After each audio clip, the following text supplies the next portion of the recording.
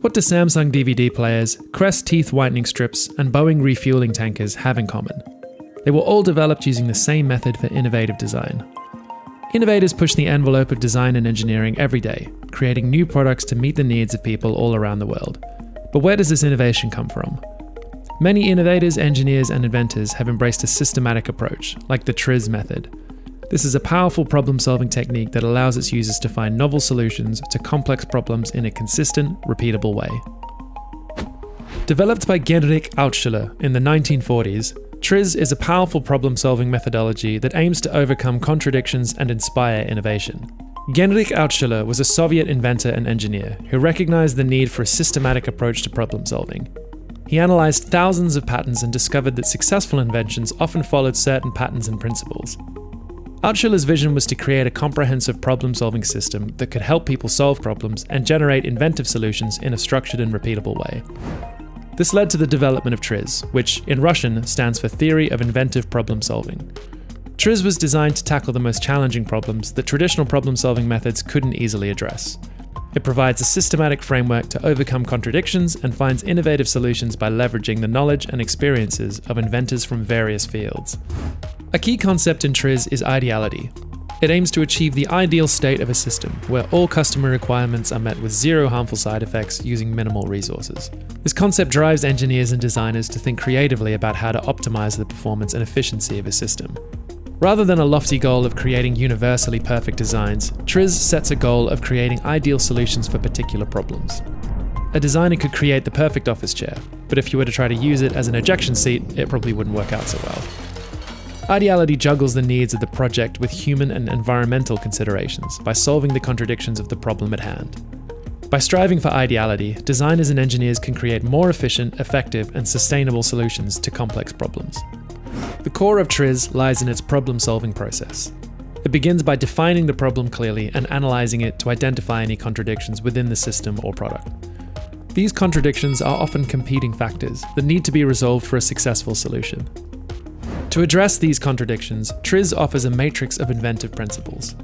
This matrix consists of 40 principles that have been derived from studying numerous successful inventions across different industries. Each principle is linked to specific parameters commonly found in problem solving situations. These contradictions and solutions are generalized to accommodate a wide range of situations. For example, filaments generate light when an electrical current passes through them, but this causes them to quickly break down from the heat, the light bulb was born from the discovery that sealing the filament in a vacuum kept the filament from overheating. If TRIZ was around in the 19th century, it likely wouldn't have taken over 70 years to resolve this contradiction. There are many prominent innovators using the TRIZ methodology, with many outside of Russia adopting the practice following the collapse of the Soviet Union.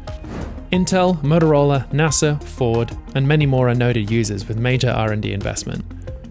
One organization particularly proud of their use of this model is Samsung, they brought in R&D talent from Russia in the late 90s who came with knowledge of the TRIZ system.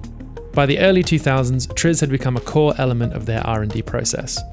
In 2003, Samsung credited TRIZ for 50 patents. In 2004, TRIZ-based innovation resulted in a DVD technology patent that saved Samsung over $100 million. Codifying and translating TRIZ to the Korean language, Samsung made training with the TRIZ methodology mandatory for its engineers. The systemic approach allows Samsung to cut down R&D expenditure per innovation by reducing false leads and competing design teams. Each department, from screens to washing machines, makes extensive use of the TRIZ methodology. With a staggering array of patents under their belt, the approach has worked remarkably well for them since its adoption. Here at PatSnap, we're big believers in the TRIZ method. While creating our new product Eureka, our team used TRIZ to develop patent DNA, a way to break down and summarize patents to be more easily read by engineers. Patent DNA is designed to make patents more accessible to R&D teams, allowing them to focus on innovating rather than passing legal documents. While the TRIZ system matrix of inventive principles is a powerful tool, it doesn't provide solid answers on which principle to use. Instead, the matrix is a flexible guide that encourages users to think creatively about how to apply the principles to their specific problem. Altshuler is quoted as saying, TRIZ is a tool for strong thinking, but not instead of thinking.